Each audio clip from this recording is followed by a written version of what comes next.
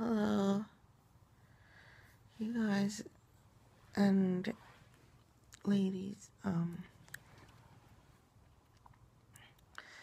lupus is lactose intolerance. Uh, anybody, uh, if you have like, uh, like it looks like you have chicken pox, but it doesn't go away. Okay, that's lupus. It, affecting your skin. Don't eat no more milk. Eat some charcoal and some allergy pills.